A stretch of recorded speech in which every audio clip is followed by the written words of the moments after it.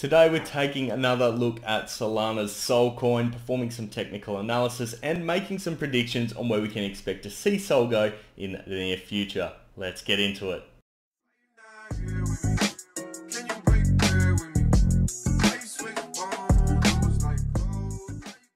Welcome back into Solana's Sol coin chart guys and as you can see we almost predicted this one correctly, but unfortunately we did not manage to break through our 20 day moving average. So we predicted the bounce correctly off our key point of support here at $170, but this 20 day moving average, which was sitting at the time at about $178, proved to be too much of a resistance point and we've come back down to this area of support here. Now that we're sitting on this point, either we're going to bounce off it again or alternatively we're going to drop. And if we drop we're going to be dropping down to about 149 150 on the chart over here. I'm going to just put that line in place there. So it's looking like we could be moving in this sort of a direction.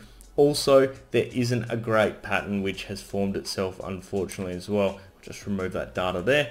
It looks like we are potentially seeing uh, what you'd call I suppose the reverse of a flag pattern, an upside down flag. So that's not really a good sign for us. So you've got the top end of the flag forming down here and it looks like it has formed in a bit more of a pennant type shape.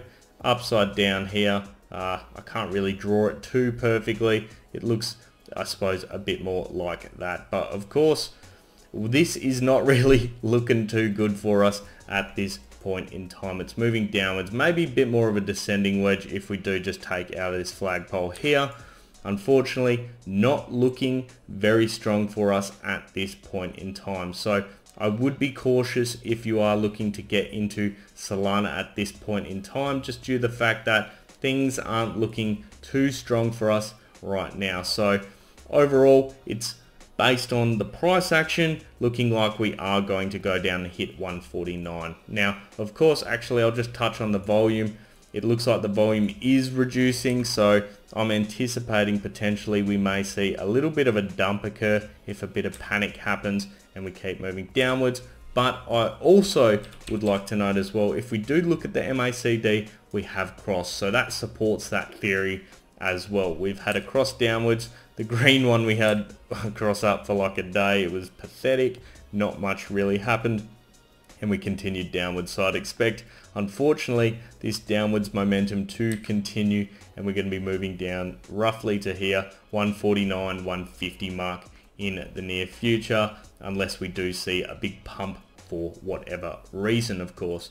RSI, let's have a quick look at you as well. RSI is sitting relatively low, 41.83 but there is still room for it to keep moving in a downwards direction unfortunately. So overall the trend at this point does appear to be downwards continuing although it does appear that you know we do have some key points of support that will help us hold up above that 149 150 mark.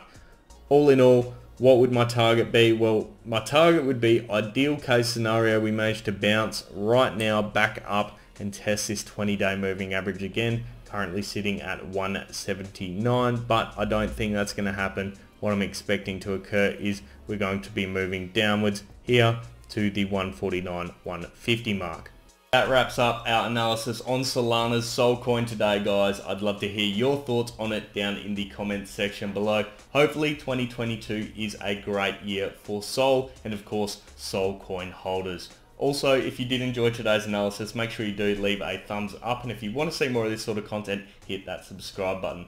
I'll leave it there for today guys. I hope you have an awesome day. I'll see you next time. Cheers.